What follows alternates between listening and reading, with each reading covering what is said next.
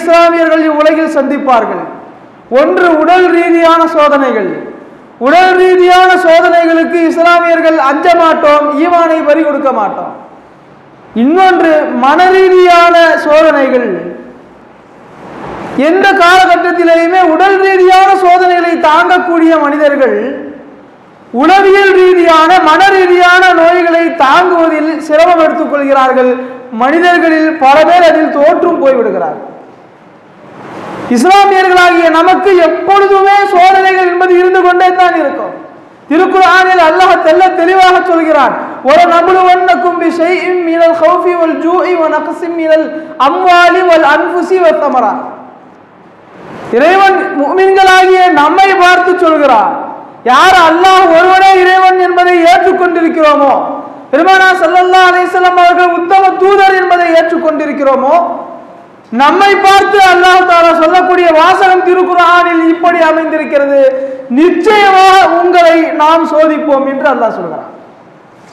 சோதித்தால் சோதிப்போம் சில நபர்களை சோதிக்காமல் விடுவோம் அப்படி அல்ல.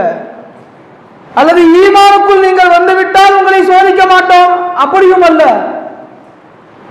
திட்டமாக உங்களை சோதிப்போம் என்ற வார்த்தையை அல்லாஹ் தாலா உபயோகப்படுத்துகிறார் எப்படி சோதிப்பேன் என்பதையும் அடுத்த வரிகளில் அல்லாஹு தாலா தெளிவாக அழகாக வரிசைப்படுத்தி சொல்கிறார். விஷய் மினல் ஹவுஃப் பயமுறுத்தாட்டுவோம் எதிரிகளை வைத்து இவ்வுலக வாழ்க்கையை அவர்கள் முடித்து விடுவார்களோ? உயிருக்கான பயம் ஈமானுக்கான பயம் குடும்பத்தாருக்கான பயம் எல்லா வகையான பயங்களை கொண்டும் உங்களை நாம் சோதிப்போம். பசியை கொடுத்து உங்களுக்கு நாம் சோதிப்போம். வறுமை ஏற்படும் பஞ்சம் ஏற்படும். அம்வால் பொருளாதார குறைபாடு ஏற்படும் அது மூலமாக சோதிப்போம். வல் அன்ஃபுஸ் உயிர் சேதம் ஏற்படும். இஸ்லாமிய எதிரிகளால் உயிர் சேதம் ஏற்படும் அது மூலமாக உங்களை சோதிப்போம். சமரா நீங்கள் சாப்பிடுவதற்கு கனிகள் இல்லாத நிலை அதாவது விவசாயம் இல்லாத ஒரு சூழ்நிலையை கொண்டும் நாம் உங்களை சோதிப்போம். சோதனைகளுடைய எல்லா ரகங்களையும் அல்லாஹ் தாலா வரிசைப்படுத்தி சொல்லி திட்டமாக சோதிப்போம் என்று திருக்குறானில் நம்மை பார்த்து சொல்கிறார். அப்படி என்றால் உலகில் வாழும் காலத்தில் நம்முடைய ஈமானை சோதித்து பார்க்கக்கூடிய ஈமானை உரசி பார்க்கக்கூடிய ஈமானை நம் இடத்துல இருந்து பிடுங்கி எரிந்து விட வேண்டும் என்று நினைக்கக்கூடிய கூட்டத்தினருக்கு மத்தியில் தான் நாம் வாழ்வோம் என்பதை அல்லாஹ் தாலா சூசகமாக நமக்கு சொல்கிறார். இருந்து கொண்டே இருக்கும். அது பொருளியல் சோதனைகளாக இருக்கலாம் உடலியல் சோதனைகளாக இருக்கலாம் உளவியல் சோதனைகளாகவும் இருக்கலாம்.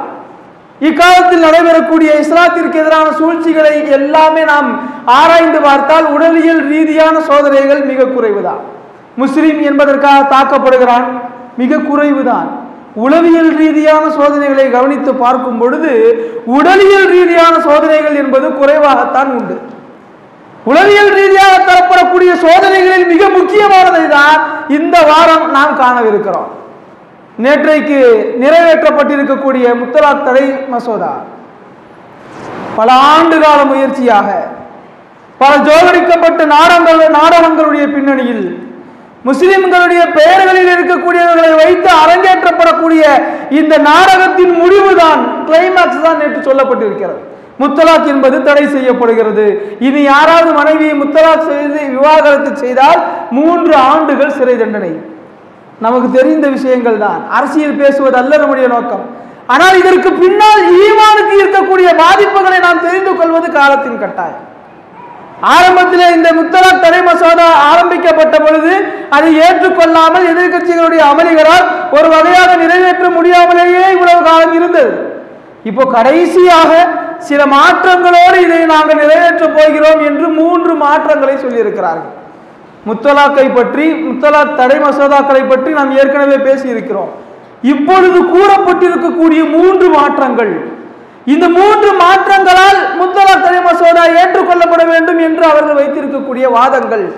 அதன் பின்னணியில் இப்பொழுது இயற்றப்பட்டிருக்கக்கூடிய இந்த சட்டம்.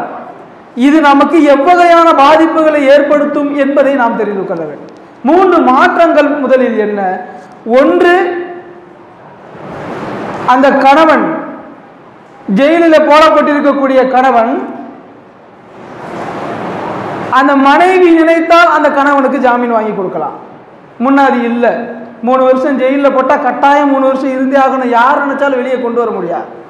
ஆனால் இப்பொழுது இது சலுகை என்று வழக்கு போட்ட அந்த பெண் அல்லது அந்த பெண்ணை சார்ந்தவர்கள் அவரை நினைத்தால் ஜாமீனில் வெளியே எடுக்கலாம். இது சலுகை போல தெரியும். பிராக்டிக்கலா வாழ்க்கையில் நாம் யோசித்து பார்ப்போமே.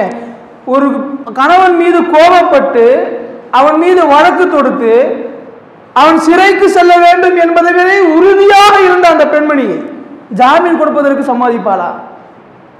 பிரிஞ்சாச்சு. தலாக் ஆயிடுச்சு. அவர் மேல உள்ள கோபத்துல தான் வழக்கு போடப்பட்டுச்சு உள்ளேயும் தள்ளியாச்சு. இவ்வளவு தூரமும் கோபம் அடங்காத ஒரு பெண் சிறையில் இருக்கக்கூடிய ஒரு கணவனுடைய நிலைமையை பற்றி தெரியாமல் வெளியில் இருக்கக்கூடிய ஒரு பெண் தன்னுடைய அந்த கணவன் மீது இறக்கப்பட்டு இவருக்கு ஜாமீன் கொடுங்கள் என்று சொல்லுவாளா? இது சாத்திய குறைவு இரண்டாவது பெண் வீட்டை சார்ந்த யார் வேண்டுமானாலும் வழக்கு போடலாம் பொதுவான ஆட்களும் வழக்கு போடலாம் என்று இருந்த முன்பிருந்த அம்சத்தை இப்பொழுது திருத்தி இருக்கிறார்கள். அந்த பெண் வழக்கு போட முடியும் அல்லது அந்த பெண்ணை சார்ந்த அந்த பெண்ணுடைய சொந்த பந்தங்களில் யாராவது வழக்கு போட முடியும் என்று மாற்றியிருக்கிறார்கள்.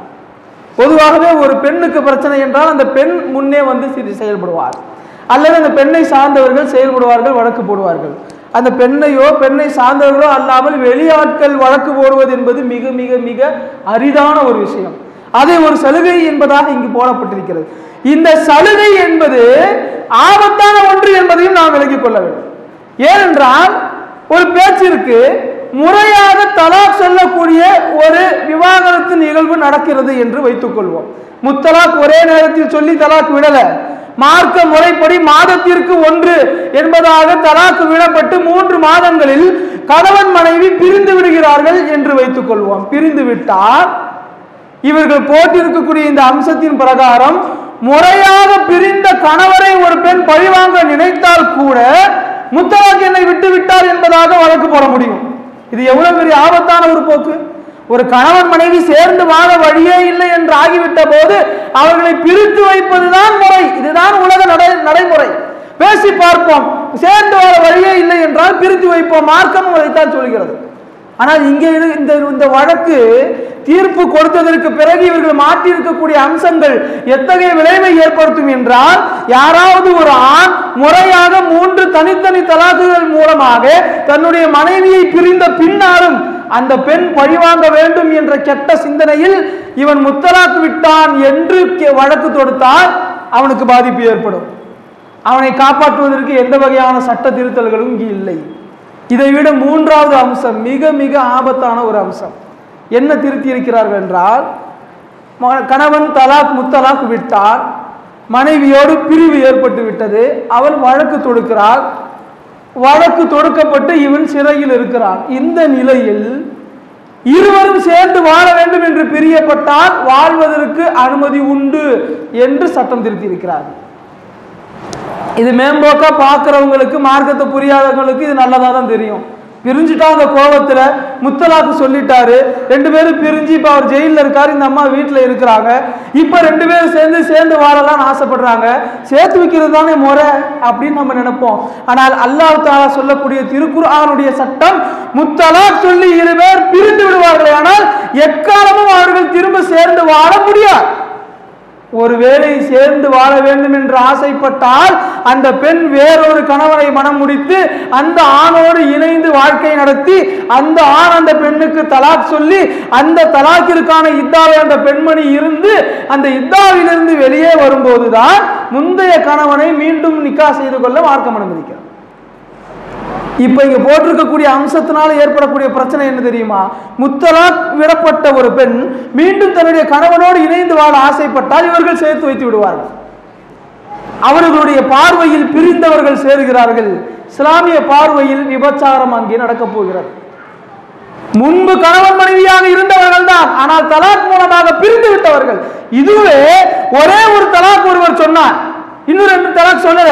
ஒரு தலாக் சொல்லி விட்டு இடைவெளி காலம் ஓடிக்கொண்டிருக்கும் பொழுது ஒருவர் மீண்டும் சேர்ந்து வாழ வேண்டும் என்று ஆசைப்பட்டு விட்டார். என்றால் புதுசா நிக்கா பண்ண தேவையில்லை. வேற ஒரு நிக்கா செய்து அந்த கணவனோடு வாழ்ந்து தலாக் வாங்க தேவையில்லை. ஒரு தலாக் என்றால் மீண்டும் அவரை மீட்டிக் கொள்ளலாம். எந்த கஃபாரா பரிகாரமும் கிடையாது. அதுவே இரண்டாவது தலாக் விட்ட பிறகு அவருக்கு சிந்தனை வருகிறது. என்றாலும் கூட அவர் அந்த மனைவியை அப்படியே மீட்டி எடுத்துக்கொள்ள முடியும். இந்த மார்க்கம் எவ்வளவு அழகான சட்டத்தை கொடுத்திருக்கிறது. கணவன் மனைவிக்கு மத்தியில் சண்டை வந்து அவன் ஒரு தலாக்கு விட வேண்டும். விட்டதற்கு பின்னாடியும் முக்கியமான அம்சம் என்ன தெரியுமா? கணவன் மனைவியும் ஒரே வீட்டில் தான் நீங்கள் யோசித்து பாருங்கள். சண்டை வந்து பிரிந்து விட்ட இரு நபர்கள் ஒரே வீட்டில் வாழும் போதுதான் அவர்களுடைய அருமை புரியும். இவருடைய சட்டம் என்ன சொல்கிறது பிரிந்து விட்டாயா? நீ ஜெயிலுக்கு போ நீ வீட்டுக்கு போ. இவங்க ரெண்டு பேரும் புரிஞ்சுக்கிறதுக்கான கால அவகாசம் எப்போ நம்ம கொடுக்க போறோம்?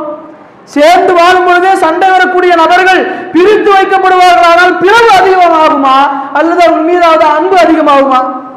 இந்த சட்ட திட்டங்கள் எல்லாம் நம்மை விபச்சாரத்திற்கு தள்ள தள்ளக்கூடிய ஒரு சூழ்நிலையை ஏற்படுத்துகிறது. சுருங்க சொன்னார் அதே போல நம்முடைய மனைவி இனி வழக்கு போட்டு உள்ளே தள்ளிவிடுவாரோ என்ற அச்சத்திலே துரோகம் செய்யக்கூடிய கணவன்கள் கூட சேர்ந்து வாழ்வதற்கான வாய்ப்பு இருக்கு. ஒரு சூரத் ஒரு தோற்றத்தை நான் உங்களுக்கு சொல்கிறேன். ஒரு ஆண் தன்னுடைய மனைவி இல்லாத ஒரு பெண்ணோடு கள்ள தொடர்பில் இருக்கிறான் என்று வைத்துக் கொள்வோம். இப்போ அந்த அம்மா வழக்கு போட்டு உள்ள தள்ளிடுவேர் மிரட்டுது. முத்தலாக் சொல்லிட்ட உள்ள தள்ளிடுவேர் மிரட்டுது.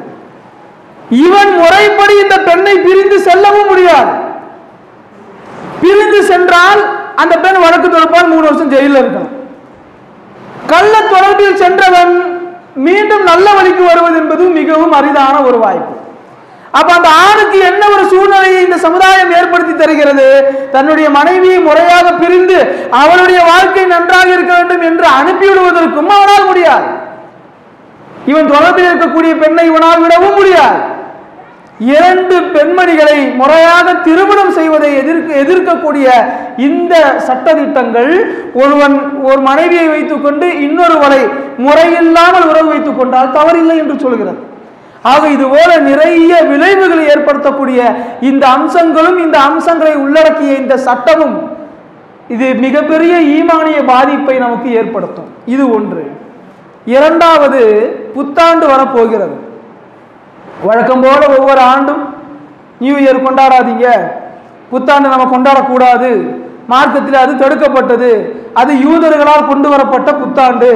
யூதர்களை பின்பற்றாதீர்கள் என்று ரசூல் சல்லா அலிஸ்லாம் அவர்கள் சொல்லி இருக்கிறார்கள் யூதர்களை அணு அணுவாக நீங்கள் பின்பற்றாதவரை கியாமத் வராது என்றும் சொல்லி இருக்கிறார்கள் யூதர்களை பற்றி உண்டான எல்லா எச்சரிக்கைகளையும் பெருமானா சல்லா அலைஹி நமக்கு சொல்லி தந்த பிறகும் நான் வழக்கம் போல நியூ இயர் கொண்டாடாதீங்கன்னு ஒரு வார்த்தையில பயானம் சொல்லி முடிக்கலாம்னு நினைச்சா இரண்டு நாட்களுக்கு முன்பு சில நண்பர்களோடு பேசி கொண்டிருக்கும் பொழுது புத்தாண்டை எப்படி கொண்டாடலாம்னு சொல்லி ஒரு மீட்டிங் போட்டு பேசிக்கிட்டு இருக்கிறான். யோசித்து பார்க்க வேண்டும். இது சாதாரணமான ஒரு நிகழ்ச்சி அல்ல. ஒரு நண்பர் இப்படியே சொன்னார் என்னைக்காவது ஒரு நாள் கொண்டாடுறோம். என்னைக்காவது ஒரு நாள் கொண்டாடுறோம். இதில் என்னங்க தப்பு இருக்குது இந்த சமுதாயத்தில் உள்ள பெரிய பாதிப்பே என்ன தெரியுமா?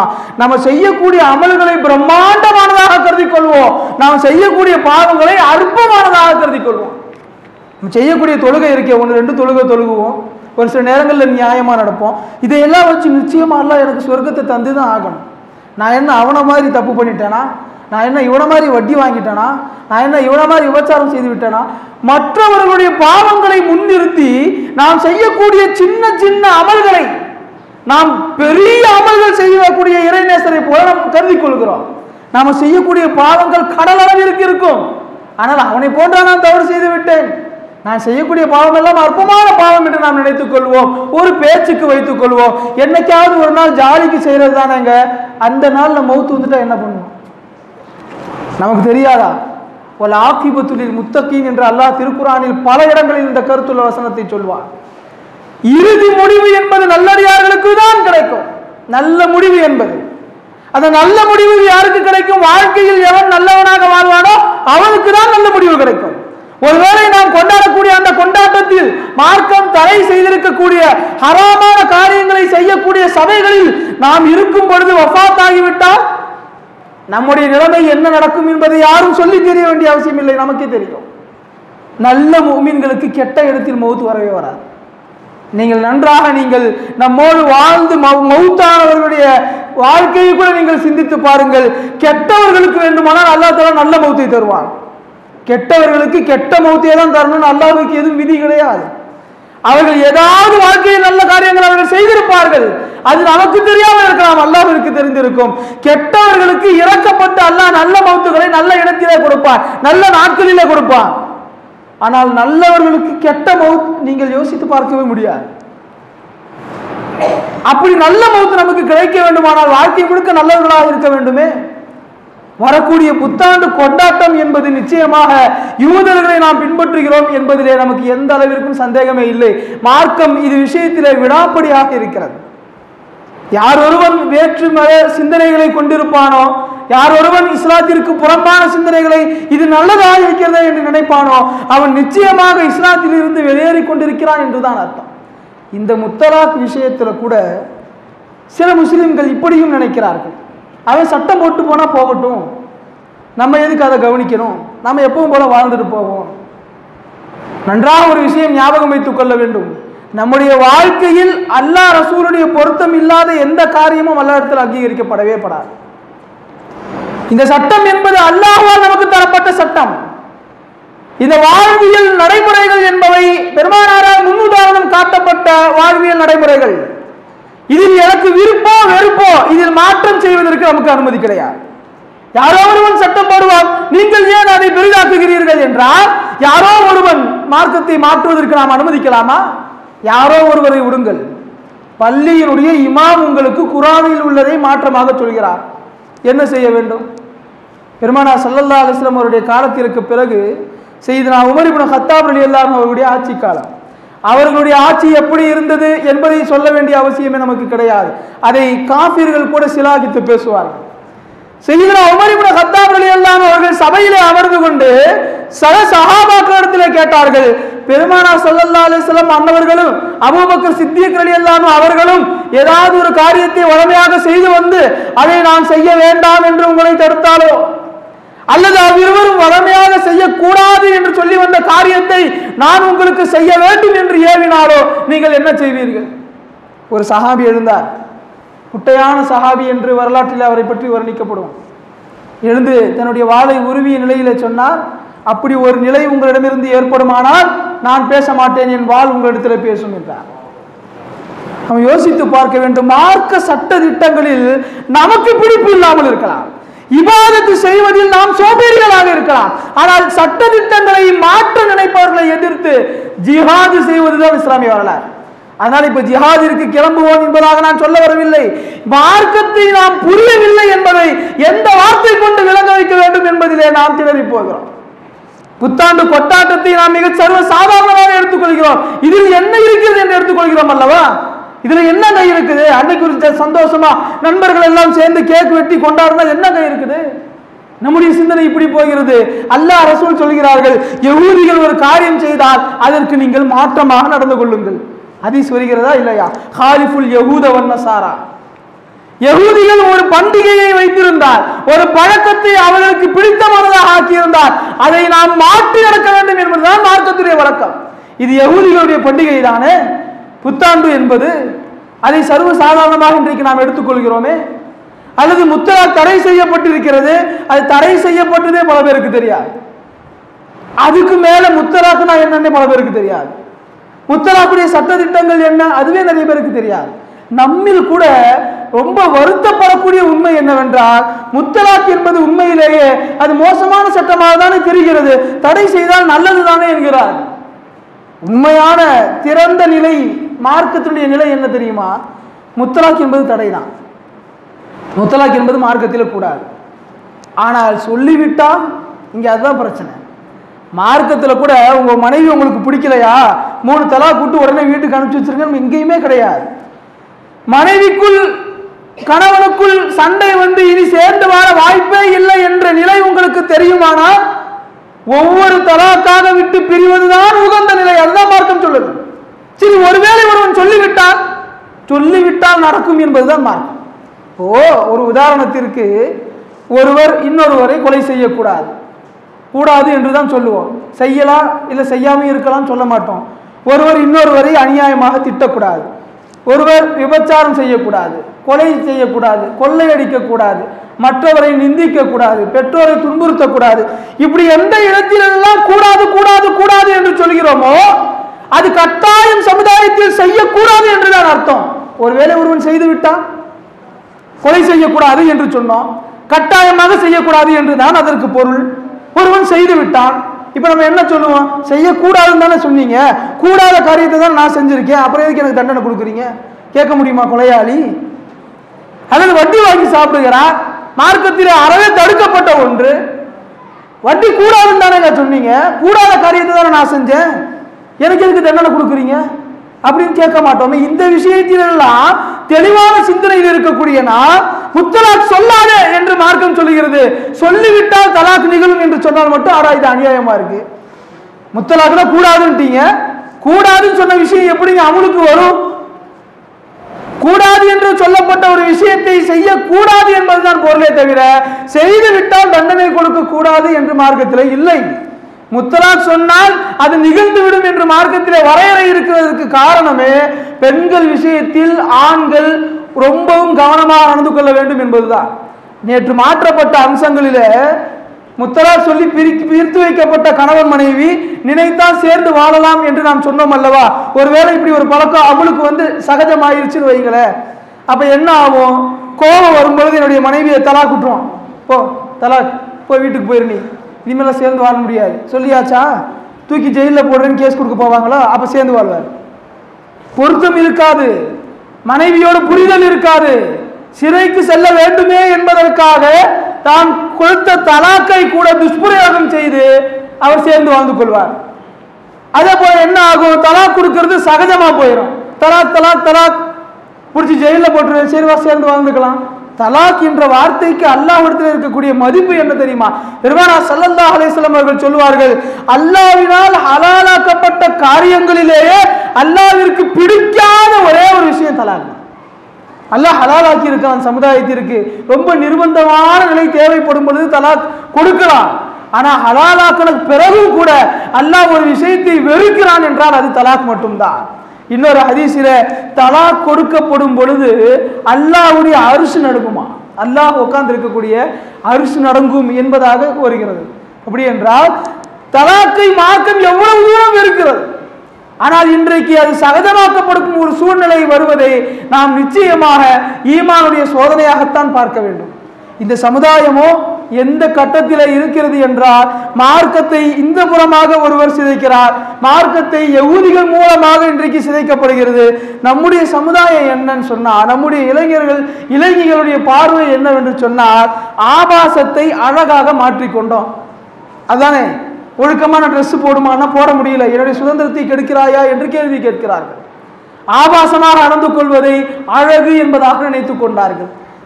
இந்த சமுதாயத்தில் வாலிபர்களோ மனோ இச்சை பிரகாரம் நடப்பதை மதிநுட்பம் என்று நினைத்துக் கொள்கிறார்கள். ஒரு போஸ்டர் கொஞ்ச நாளைக்கு முன்ன பார்த்தேன். தலைவா களம் காண எங்களை அழைத்திடு என்று ஒரு நடிகருடைய போட்டோவை போட்டு கீழே இருக்கக்கூடிய ஏழு பேர் முஸ்லிமான பசங்க. தலைவா களம் காண எங்களை அழைத்திடு. பள்ளிவாசல்ல ஒவ்வொரு நாளும் ஹையால சலா ஹையாலல் ஃபலான்னு கூப்பிடுறோம். பெருமானா சல்லல்லா அலிஸ்லம் சொன்னாங்க வெற்றியின் பக்கம் ஓடிவாங்க தொழுகையின் பக்கம் ஓடிவாங்க ஆயிரத்தி நானூறு ஆண்டுகளாக களம் காண அழைக்கக்கூடிய நமது தலைவரை விட்டுவிட்டு அவன் நடிக்கிறான் அவனுடைய தொழிலை பார்க்கிறான் அவன் சம்பாதிக்கிறான் அவனை நம்ம என்ன குறை சொல்ல முடியும்? அவனின் மீது பித்து பிடித்து போன இவர்கள் அவர் தலைவராக களம் காண கூப்பிடு நாங்க வரணும் தயாராகும் ஏற்கனவே இங்கே எத்தனையோ கற்பழிப்புகள் நடந்துகிட்டு இருக்கு எத்தனையோ கொலைகள் நடக்குது. நேத்து முந்தா நேற்று கூட நெல்லை மாவட்டத்தில் ஒரு முஸ்லீம் பிள்ளை இல்லையா? ஃபேஸ்புக் மூலமா காதலித்து கொலை உண்ட சம்பவத்தை பார்த்தோம். நேத்து அதே ஃபேஸ்புக் மூலமாக ஒரு பிள்ளை காதலித்து காதலனோடு செல்வதற்கு எதிர்ப்பு தெரிவித்த தாயை கொலை பண்ணிச்சா இல்லையா? இவ்வளவு தூரம் இங்கே சம்பவங்கள் நடந்து கொண்டிருக்கிறது. நம்முடைய சமுதாயத்து இளைஞர்களோ நடிகன் அழைப்பான் செல்வோம் அதுவரை அமர்ந்திருப்போம் என்று காத்து கிடக்கிறார்கள். இப்படிப்பட்ட சமுதாயத்தை வைத்துக்கொண்டு மார்க்கத்தை பாதுகாப்பது என்பது ரொம்ப மிக மோசமான சூழ்நிலை. எனவே நம்முடைய ஈமானை உரசி பார்க்கக்கூடிய இது போன்ற சம்பவங்கள் நடக்கும் பொழுதெல்லாம் நாம் அல்லாவிற்கு நன்றி செலுத்த வேண்டும். மார்க்கம் இவ்வளவு பழுதுபட்ட நிலையிலும் கூட பள்ளியோடு தொடர்புள்ளவர்களாக அல்லாஹ் நம்மை வைத்திருக்கிறானே. சந்தோஷப்பட வேண்டும். அந்த சந்தோஷத்தை அதிகப்படுத்துவதற்கு தான் இபாதத்துகளின் மீது நமக்கு அதிகமான கவனம் வேண்டும். நாம் தொழுகிறோமே ஒரு உதாரணத்தோடு நான் முடித்துக் கொள்கிறேன். தொழுகிறோமே என்ற என்றைக்காவது தொழுது விட்டு இந்த தொழுகை அல்லாட்ட ஏற்கப்பட்டிருக்குமா? நம்ம கவலைப்பட்டிருக்கோமா? வீட்டில் பெண்கள் சமையல் செஞ்சு வைப்பாங்க. அது எத்தனை காலம் எத்தனை ஐம்பது வருஷத்துக்கு மேல நம்முடைய மனைவியோட நம்ம வாழ்ந்துருந்தாலும் ஒவ்வொரு நாளும் சமைச்சு வச்சுட்டு நம்ம சாப்பிட்ட உடனே எப்படி அது பார்ப்பாங்க? நல்லா இருக்குன்னு சொல்லிட மாட்டாரா? அது பெண்களுடைய பழக்கம். அதே போல நாம் ஒரு முதலாளி இடத்துல வேலை பார்க்கிறோம் ஒரு ப்ராஜெக்ட் எடுத்து செய்கிறோம். அதை செய்து முடித்து விட்ட பிறகு இது மக்கள் அங்கீகரிக்க வேண்டுமே பாராட்ட வேண்டுமே என்று நாம் எதிர்பார்க்கிறோம். நாம் செய்த வேலைக்கான அங்கீகாரத்தை நாம் எதிர்பார்க்கிறோம். என்றைக்காவது ஒரு நாள் நான் இந்த வேலையை தொழுகையை அல்லாவிற்காக செய்து முடித்தேன். அல்லா அல்லாஹ் இந்த தொழுகையை நீ அங்கீகரிச்சுக்கிட்டியான்னு ஏக்கமா நினைச்சிருக்கிறோமா? பெரியார்கள் தொழுது முடிச்ச உடனே கூட்டுதுவாவை ஏற்படுத்தினதுக்கு காரணமே இதுதான். தொழுது முடிச்ச உடனே எந்திரிச்சு போயிடாத எந்திரிச்சு போயிட்டா என்ன அர்த்தம்? தொழுது என் கடமை முடிஞ்சு தொழுகையை ஏத்துக்கிட்டா ஏத்துக்கோ இல்லாட்டி போ? அப்படி அல்ல அல்லாஹ்விடத்துல தொழுது முடித்த உடனேயே நீங்கள் துவா கேளுங்கள். அந்த துவாவில் சொல்லக்கூடிய ஆமீனை கூட உள்ளத்தில் இருந்து சொல்ல வேண்டும். இப்ப நம்ம துவா கேட்கிறோமே யதார்த்தமா சொல்ற யாரையும் குறை சொல்லல. துவா கேட்கிறோம். துவா கேட்கும் பொழுது ஆமீன். ஆமீன். அப்படிங்கிறோமே என்ன துவா கேட்கப்படுது யா அல்லாஹ்? எனக்கு கடுமையான நோயை கொடுத்துடாத அப்படின்னு கேட்கும்போது நம்ம எப்படி ஆமிச்சு எல்லாம் ஆமீன். கேட்கக்கூடிய ஒவ்வொரு துவாக்களும் கனமான துவாக்கள். அதை அதற்கு ஆமீன் சொல்லும் பொழுது எல்லாம் இதை ஏற்றுக்கொள் என்று எவ்வளவு உருக்கமாக கேட்கிறோம். அந்த துவாவை கேட்கும்போது கூட ஆமீன் நீ கொடுத்தா கொடு இல்லாட்டி போ யாருக்கு நஷ்டம்? எதற்காக சொல்லுகிறேன் என்றால் இஸ்ராத்தை புரிந்து இபாதத் செய்ய வந்த பிறகும் கூட ஒருவருடைய இபாதத்தில் உயிரூட்டம் இல்லை என்றால் அந்த இபாதத் வேஸ்ட் வேஸ்ட் அதற்காகத்தான் சொல்கிறேன் எனவே நாம் நம்முடைய மார்க்கத்தை சரியாக புரிந்து இபாதத்துகளை உயிரோட்டமான இபாதத்துகளாக செய்வதற்கு முயற்சிக்க வேண்டும். வல்ல அல்லாஹ் வாழும் காலமெல்லாம் திருக்கலிமாவின் பிரகாரம் வாழ்ந்து திருக்கலிமாவை முடிந்த நிலையிலே வஃபாத்தாகக்கூடிய பாக்கியத்தை நம் அனைவருக்கும் தந்தல் புரிவானாக. இஸ்லாத்திற்கான சோதனைகள் வரும்பொழுதெல்லாம் அதை தீவிரமாக எதிர்க்கக்கூடிய இஸ்லாத்தை கட்டிக்காக்கக்கூடிய